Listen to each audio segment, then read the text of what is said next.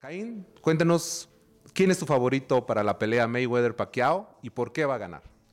Yo pienso que Mayweather, porque la, la, la defensa que, que, él tiene, que nadie lo, lo puedan apegar, su estilo de pelea, pues todo el tiempo igual, que nadie lo, lo, lo pueden apegar y él pega con el que él, él quiere. Ese que a veces su estilo nadie le, le le gustan mirar ese tipo de estilo, pero él, él gana.